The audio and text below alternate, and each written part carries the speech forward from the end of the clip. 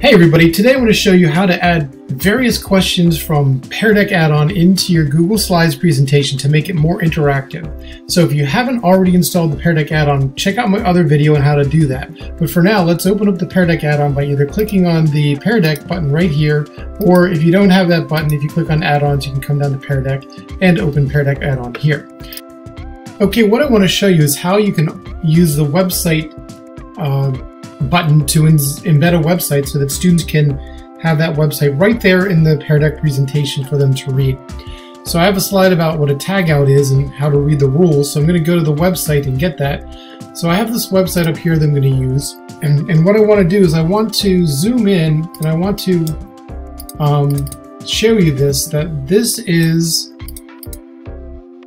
uh, a very important part of the uh, equation when you put a website into Pear Deck is that you have to have the HTTPS as part of the beginning of the website. Otherwise, that's going to cause uh, a little bit of a, an issue with Pear Deck. So um, I'm going to copy this website and then I'm going to come back to Pear Deck and I'm going to click on the website button and the window will pop up. Notice that it starts with HTTPS, so that's good too. You can embed a Google document in it as well if you wanted to. So I'm going to paste the website.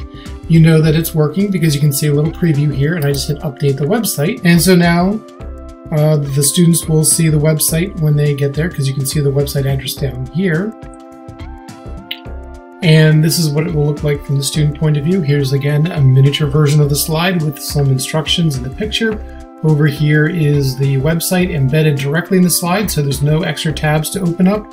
Students can read it right there, or they can click on the link down here and then open it up full size in a new tab. So this is a really great way to get students text-based information uh, into the Pear Deck for them to use.